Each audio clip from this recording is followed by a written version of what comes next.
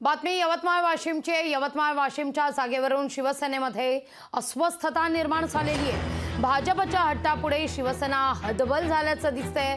हिंगोली यवतमाळचे उमेदवार बदलण्याची नामुष्की शिवसेनेवर आलेली आहे. भाजपच्या दबावामुळे हिंगोलीतील हेमंत पाटलांची उमेदवारी मागे काल शिवसेनेनं घेतली. आता यवतमाळ वाशिममधून भावना गवळींना देखील उमेदवारी नाकारण्यात आलेली आहे.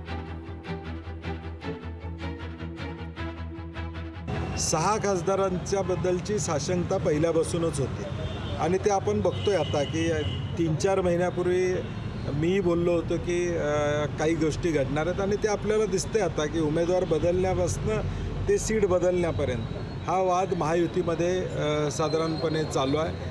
आणि आता लक्षात आलं असेल की नेमकं भाजप कशा पद्धतीनं वापरून घेतं. लोकशाही मराठी. ऐका पहा. जागरूक रहा।